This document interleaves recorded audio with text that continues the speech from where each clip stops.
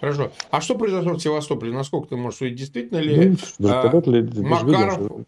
Вертолет летает и стреляет во все стороны. И наверняка friendly fire понапивались и начали стрелять друг друга. Не, это мы понимаем, что это они сами себя обстреливают. Давайте как бы не это. А последствия ну, результат этого... этого обстрела, ну, Макаров поражен.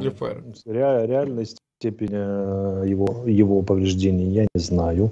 Неизвестно Но... или, или ее там невозможно многие, судить? Очень многие разразились, что там все поражено, все горит, все взрывается, все утопло. Ну, вот из того, той информации, которая есть у меня, там я вот почитал открыто российские военные источники, угу. скажем так.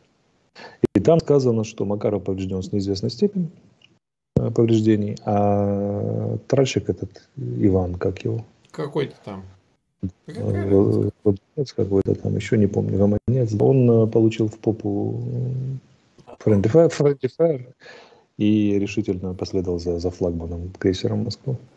Я бы уточнил, говорят, что Friendly Fire велся с беспилотников. Что ты об этом ну, думаешь? Это же наверняка, наверняка не справились с управлением иранскими дронами. Либо иранские операторы перепутали цели, либо решили пошутить, либо их обидели, как известно. Же русское не доплатили, не, до, не доплатили. Вот как в Белой церкви вернее, Белой церкви в Белгороде. Что-то там ляпнули про э, антиисламское, да, вот получили. Возможно, они здесь там что-то ляпнули не то. Ну, и инструктора подумали, ну а что?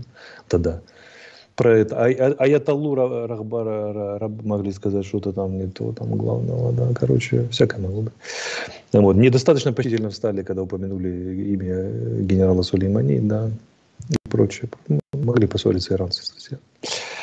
Вот, поэтому вот такая беда там приключилась. Но по самым скромным данным, с двумя, с двумя, с тремя, не с двумя кораблями военными, а по нескромным говорят четыре. Ну, посмотрим. Оно же все равно в течение трех-четырех дней становится понятно.